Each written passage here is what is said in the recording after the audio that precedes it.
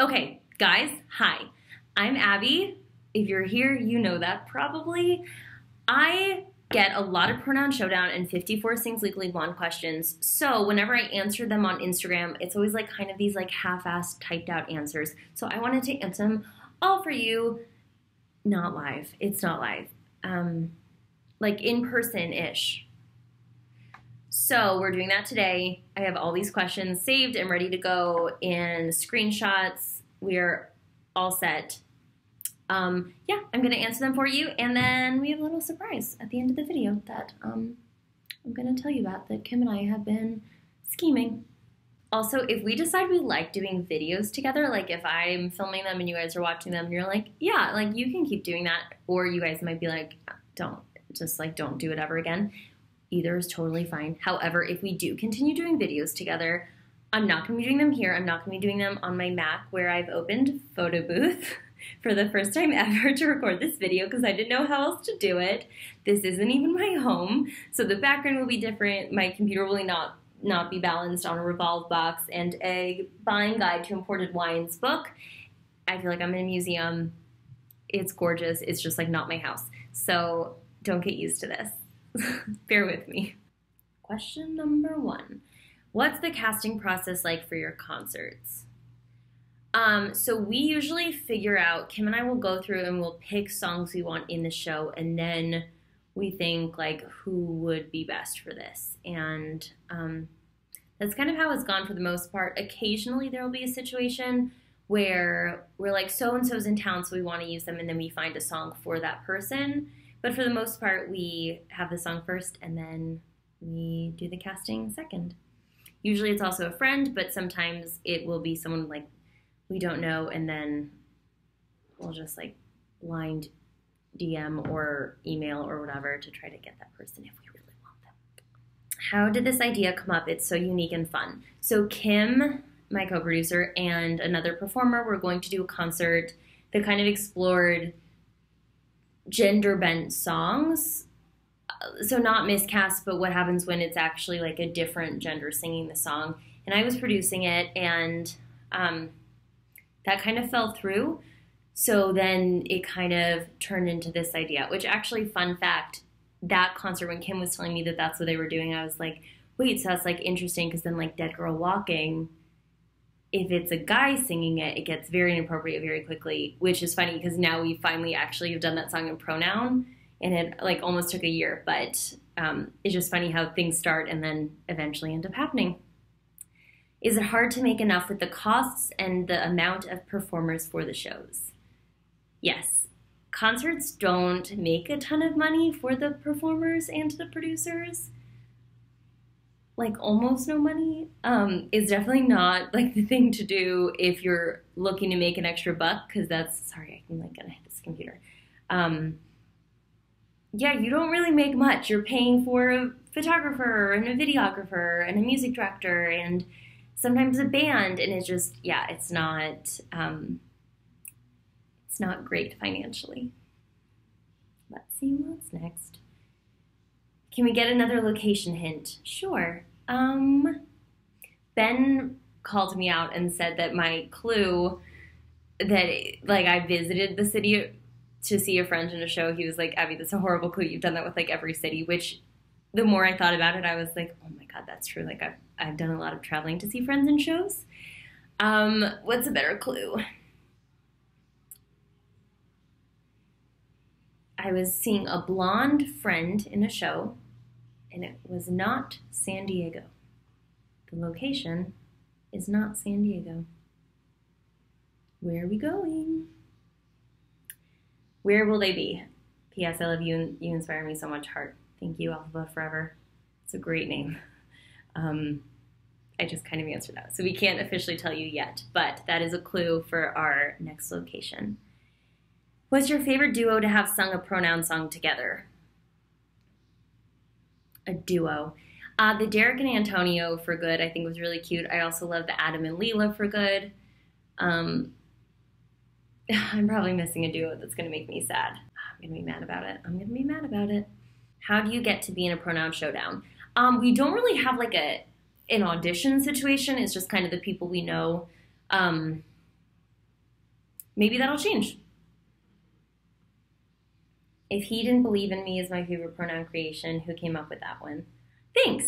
Um, I have a I have a weird relationship with the last five years, and that I'm not going to get into, but that was one I was really excited about. I think that was me. I'll feel really bad if it was Kim, but I, I'm pretty sure that one was me. I think. I should check, but I'm pretty sure. Um, oh, we're on the next page.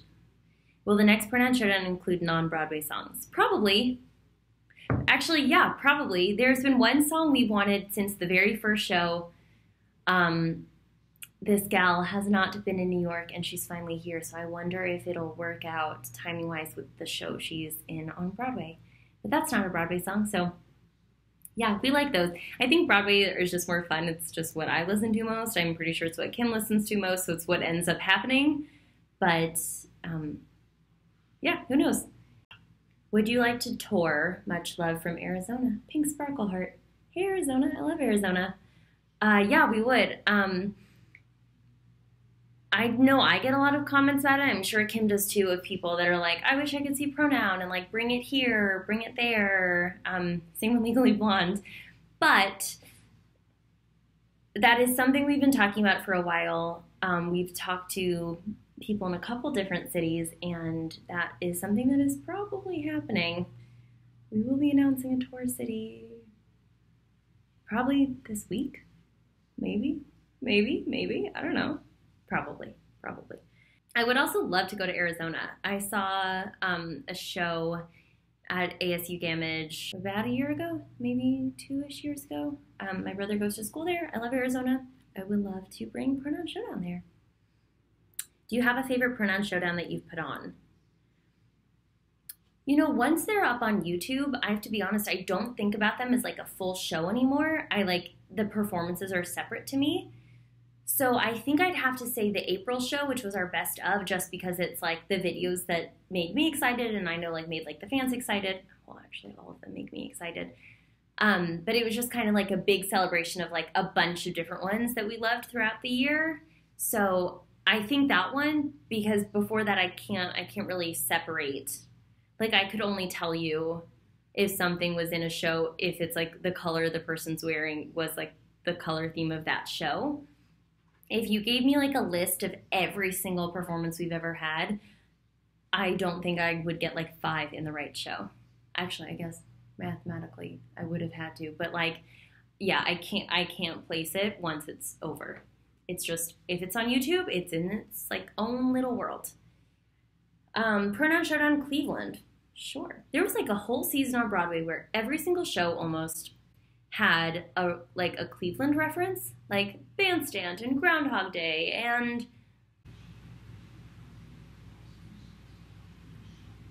others. Anastasia, like sorry, there were like a lot of Cleveland references on Broadway. And I was like, Cleveland is like it right now. So yeah, I would love to go to Cleveland. I'm sure Kim would too. So maybe we'll make that happen. Would you ever take submissions, audition suggestions for PS? Um, yeah, I mean, we have so many songs that we haven't even been able to use yet. So it's not so much that, like, well, I'm sure there's ones we haven't thought of, but there's not so many that, like, when we do repeats, it's not necessarily because we're running out. We just repeat it for one reason or another. Um, always open to ideas, totally. Submissions and stuff, sure. But again, like, just kind of use our friends, you know? Are you going to be reaching out for help again? Probably. We have four really, really awesome girls that helped with the last show, and I believe will be helping with the next show. So as of now, we definitely don't need any more help, but who knows? They might get bored of us. We might need new people. That could happen. Thanks for asking. What does the future of pronoun showdown look to you like long term? Um, I don't want to speak for Kim here, but I know for me, I would like to continue doing them every once in a while. I would like to bring them to other cities so that more people can see them live because it makes me really happy that even though like everything's up on YouTube, you guys still want more and you still want more of the experience. So I would like to bring them to more cities. Um, I think I think the show works well that way. I don't think like uh, you know I don't like my friend asked yesterday. She was like, "Is this like something you want to do like a Netflix special of one day?" And like I don't think so. I like what it is. I like that it's small and intimate, and I do hope it stays that way. Please buy tickets, but I hope it stays like this small, fun little thing we get to do. Um, what did producing Pronoun Showdown teach you that you weren't expecting to learn? Oh, okay. Um, I can't even say like that it's not going to be easy because I figured. I think what surprised me was there was like a day, there was a really tough pronoun for me, and I didn't. I didn't feel like I was being taken. Well, I did feel like a little bit taken advantage of in some situations. I felt like some people weren't like fully listening to me, and it's hard because when you're people's friend and also like the producer of the show, you have like two very distinctive jobs, and one is like being the friend, and one is like getting the show to what you need the show to be. And I was kind of struggling. And the morning of this show, um, Laura Osnes, who has been like like lover protector of me for years, Marco Poloed me. She was like on vacation. She was like, "Yay, pronoun day!" And I like responded, and I was, I was like, "Laura, I don't know what to do." And she was like, "Yeah." She's like, "There comes time you have to be the boss." And I was like, "Okay." You kind of have to step into a role sooner than you thought you would. You know, I'm not like producing a Broadway musical here. I'm co-producing a concert with like a few people, you know. So it was interesting to get to a point that I was like, "Oh, I got like I have to be the boss here." So that was probably like the number one thing I learned, and I'm glad that that was before 54 Sings Legally Blonde because that was a big job, and thank God I had Matt for that. How did you begin the process of creating Pronoun Showdown? I touched on this a little bit. Once Kim and I realized we didn't need to do the show with the other performer, um, because things for him got crazy, we were like, let's, we can like do pronoun like on our own. Also, pronoun showdown was a very temporary title that I guess is no longer temporary. I like shot a few texts off like on the couch like that night as we were thinking about it, and everyone was like, "Yeah, of course I'll do it." So that's kind of how it like actually started. Uh, will Bruiser get to sing a solo? For those of you that don't know, my dog Jean Valjean played Bruiser at 54 Sings Legally Blonde, and he was phenomenal. Maybe he'll get a solo in the next one. We'll talk to like Larry O'Keefe and be like, "Would you write something?" Maybe. Why didn't Alex Newell perform in 54 Sings Legally Blonde at least the 7 p.m. show? Okay, I'm so excited I got this question because this is something I've seen a lot of people talk about, and I want to clear it up once and for all. Alex booked a very fancy pilot in Vancouver, like right before. As soon as there was any, like, maybe possibility of missing this concert, Alex was on top of it. Let Matt and I know that, like, this could be happening, did everything possible to try to be there for the concerts. Like, truly, there are so many situations where people, I think, don't tell the whole story because they don't want to, like, call anyone out. And this is, like, so not what that is Alex did everything possible to be there for the show when we knew that that was impossible. Um, we had we were so lucky to have Haven Burton come in, but like really, truly, Alex, like we love, we love, we love, we love, we love, we love Haven for coming to fill in. This was just like one of those really crazy scheduling things, but Alex's pilot also got picked up, so like snaps for Alex and like totally worth missing the concert. Please bring pronoun and legally blonde to Houston. I love that. I love Houston. That would be really fun. That would be really, really, really fun. Steph Styles has to be there. Yes. Yes. Also that. Is there anyone you really wanted at a concert but timing kept you from booking them? Yes. So many times. So many times.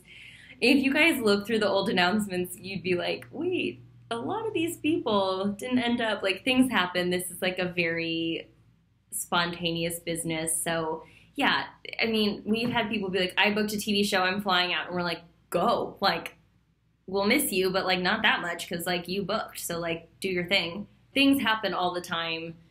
There are people that it's been an ongoing conversation. We're just kind of like, you know what? You have your song, we've rehearsed it.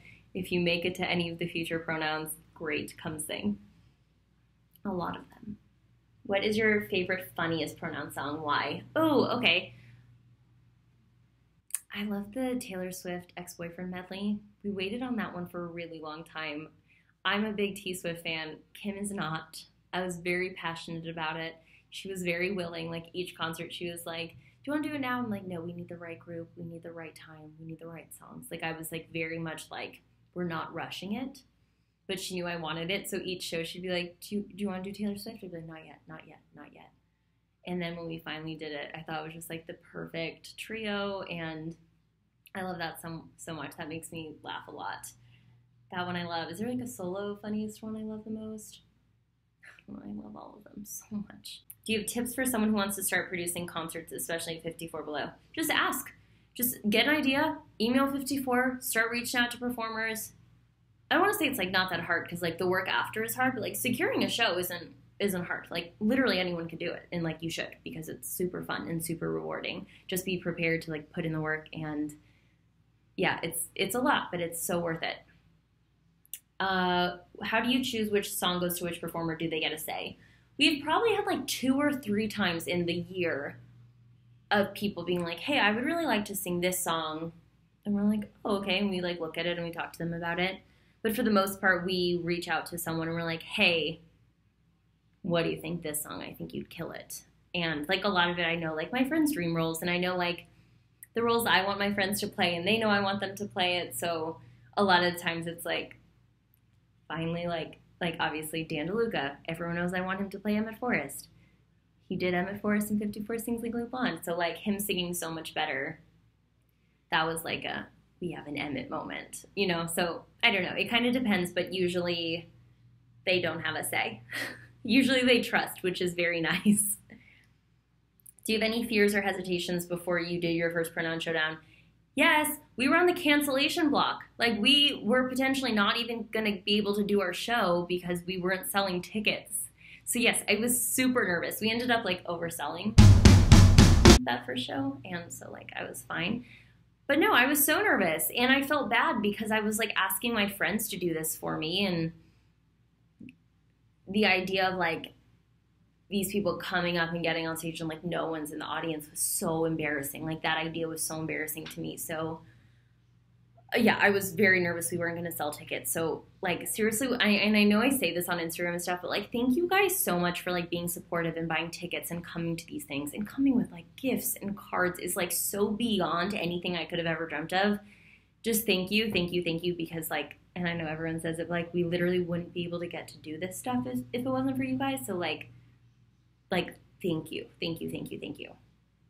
That means a lot. And yeah so now i'm not really nervous about shows because like i know you guys have my back which is really nice and i know kim and i are very comforted by that so thank you. Uh, and oh my god 54 sings legally blonde. You guys sold that so fast so thank you so much.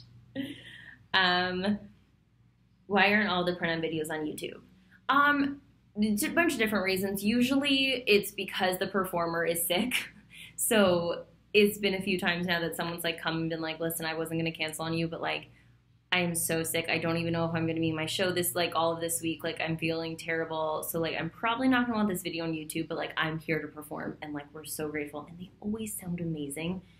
Um, but yeah, it's like, it's on YouTube. It's forever. So, like, if you don't want it up, we're like, totally, like, no worries whatsoever. And then, like, once in a while, it'll be like, just something like, the song didn't exactly go how we wanted, sound wise or whatever, and we just choose not to put it up. So, yeah, know that if it can be up, it will be. What has been your favorite pronoun showdown arrangement yet? The Burn Trio. I'm obsessed with it. I'm like literally obsessed with it. Kim and I went through those lyrics like a thousand times, dividing like exactly who was going to say exactly what word and like that has to be Angelica. Like that's so important that it's Angelica. But Eliza has to come in at the end because she agrees with her. Like it was the most, and it's like I'm obsessed with that one. How far in advance do things get planned? Oh, so sometimes it's a couple weeks. Sometimes it's not enough weeks. Sometimes it's like a year. The Burn Trio, actually, we planned like as we planned the first burn. Kim was talking about doing a trio of Drive a Person Crazy. We were talking about Burn right before that, and I was like, oh my god, that's so funny. Like when you said the trio, I was thinking Burn, and now that I'm saying it out loud, that actually feels like something that maybe needs to happen. So then we were like, okay, so we just have to do an Alexandra Burn. Then we, for next show, like a few months later, do an Angelica burn, and then we could bring them with Eliza with the original. So like that one was like just months of being like, when can we do the burn trio? and that's where I am. Favorite pronoun showdown performance. I keep talking about the burn trio, which I love, but I also like there's so many I love. I really love um, Breathe, Antonio's Breathe. That one took so long to get in the show. We had like two people announced that both got sick, and they both like sounded amazing in rehearsals, and I was so excited for that one. And then we lost them like right before, and then like Antonio, like finally like seeing him do it on stage, and like I love him and I love the song, and I like I just I love that one so much, so much, so much, so much. So yeah, that's one of my favorites also. Also, Laura Osnes, if he didn't believe in me. Oh, I love that one. How do you come up with the concept for Pronoun Showdown? We talked about that. Did you do you decide the Pronoun Showdown songs before or after finalizing a cast? Before. Will you do another 54 Sings Legally Blonde? I would love to. I would love to, I would love to, I would love to. I should probably actually text Matt right now and be like, can we do another one, please? Um, first person that ever signed on to doing a pronoun showdown.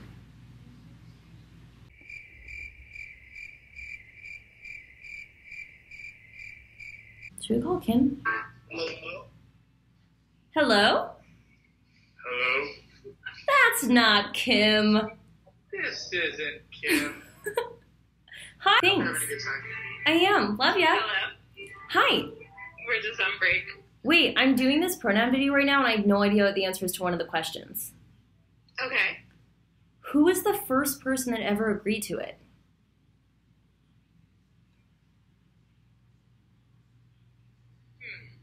Like when we were sitting on that couch, who would I have texted and would have been like, "Hey, would you do this?"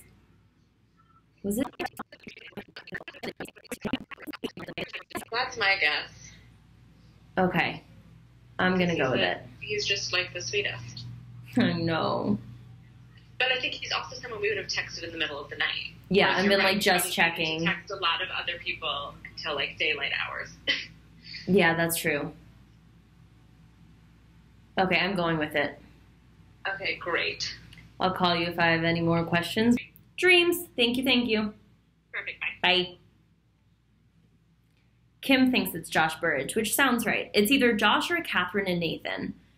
We sent out like a few texts and then like got answers back, and those three I feel like are like the ones that I would have texted that would have like gotten back right away and been like, yes. So it's probably them. I always love your outfits and get so excited to see what you wear. Which was your favorite? That's so nice. Um, my favorite, I think, was the blue show. My least favorite outfit was the pink show. It's not weird. I like just did not feel cute. I was like sick the day before. My whole face like felt chapped. I just did not feel cute. Um, blue show, I was tan. I liked my dress. I liked the color. I liked my hair and makeup. Funny enough, that's the show I hated most just because like I was personally miserable that day. I was just like going through some stuff. That day wasn't great, but my outfit was. Which pronoun show was your favorite and least favorite? Oh, so I just kind of said my least favorite was definitely the Blue Show. It was like the best people and like really amazing performances, but yeah, not my best day personally, so not my favorite show. My favorite show was probably probably April. It was like one that like it worked out that like a lot of my favorite people were in it and it was like rainbow, which is always fun. Um or I guess like the actual pink show I liked. I didn't feel cute at all, but I like I liked the show a lot, I think. Yeah, yeah, I did cuz I remember we saved a lot for pink, which makes me feel like December like didn't do oh, I liked my outfit in December too. I didn't love my hair, but I liked my outfit. Which song was the most last minute? Uh, for Good with Derek and Antonio. That one, the night before the concert, I was with a bunch of friends, one of whom was Derek. Derek was coming to the concert the next day, but not singing. So I was like, at like 11 o'clock, I was like, Do you want to sing tomorrow? And he was like, Sure. So I texted him, I was like, Derek's gonna sing. Let's get him a song. So like the three of us are brainstorming. Everyone's like trying to help figure out his song, and then at like 2 a.m., we're like, oh, for good with Antonio would be really funny. And Derek's wife, Alicia, was like, You guys can't ask him to do that this last minute. And we were like, He's probably like the only one we could ask to do this this last minute. So I texted Antonio at like 3 a.m. and I was like, Hey, love you so much. You know how much I appreciate you, right? And he comes back and he's like, What do you want me to sing? And I was like, For good with Derek? And he was like, Yeah, just tell me which part I am. I was like, That's a real friend. So they did that with like one rehearsal, aka sound check, and it's like one of our best videos on YouTube. Is there any song performance you regret? No.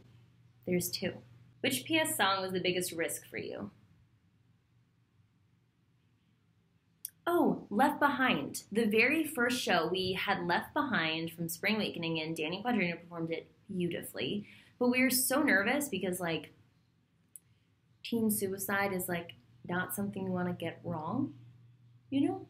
So that one was made me nervous because I was like, I just don't want anyone like to feel overly uncomfortable or you know like touch on something that like is going to make people not enjoy. Um, so that one made me really nervous. And then it ended up going so well when Danny performed it that we actually did it again a month later with Joey Nebraska. When Danny, I think Danny had must have just left for tour, so we were like, well, Joey could do it. Kim had met Joey at a concert, so we brought him in for that, and he did it beautifully. And then because people responded so well to those performances, we ended up like that kind of led the way to Requiem from Dear Evan Hansen with Antonio, which is like probably one of the most successful songs we have on YouTube. So um, it all worked out really well. It was definitely worth the risk, but it made me super nervous. What's the casting process like for your concerts? We kind of touched on this. When did how did this idea come up? We did talk about that. Is it hard to make enough with I'm repeating them. Oh, do we do all of them? Fierce. Okay. Fun little announcement for you. Hello? Hey, okay, what is the next city we're doing Pronoun Showdown in? New York City. What? We're coming back to New York City? Yes. When? Six months? August. Tw- oh, no, on August 20th At 9.30 p.m.? at 9.30 p.m. At Green Room 42? At Green Room 42. Yes, this is all correct information.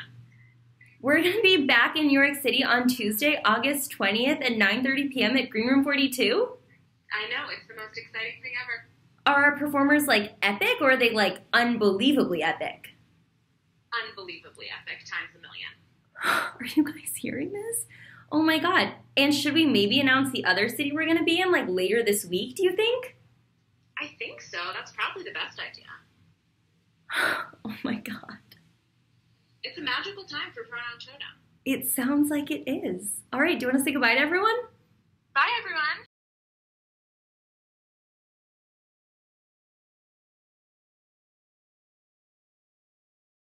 I'm so nervous. I'm forgetting something.